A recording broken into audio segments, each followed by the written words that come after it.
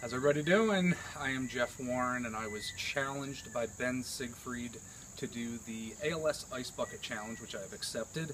I now nominate my good friend Matt Marks and my other good friend Amy Fowler. You guys are up. But now I got to put this bucket of water over my head now before you guys get to do it. Right. That's freezing cold water, by the way.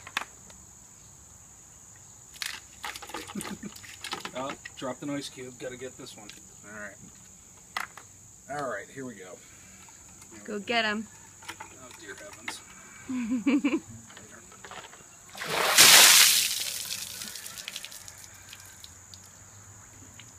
Stop it.